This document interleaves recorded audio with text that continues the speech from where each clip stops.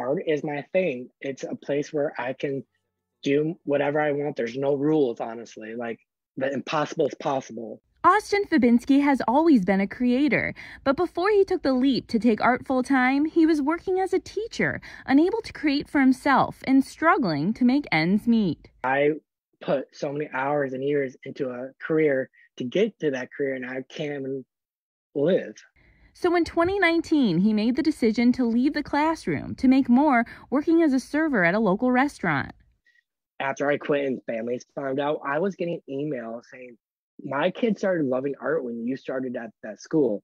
And like, I remember crying, How do I inspire these kids when I'm not happy?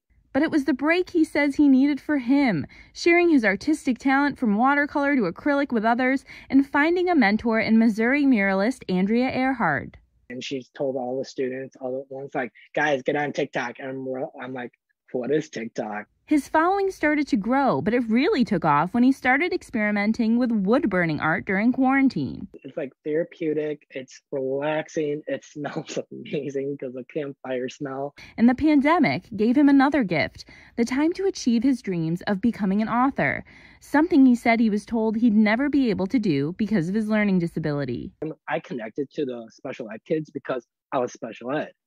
When you are told like you have disabilities, like you think okay, I'm I can't do this just because I know I have a disability. No, you you can do whatever you want to do.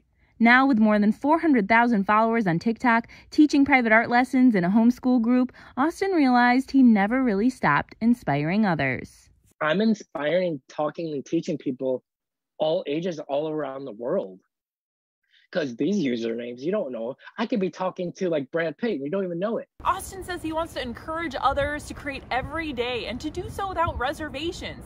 He says he also wants to mentor others so that they can pursue their passions too. I'm Alexandra Bahou, 7 Action News.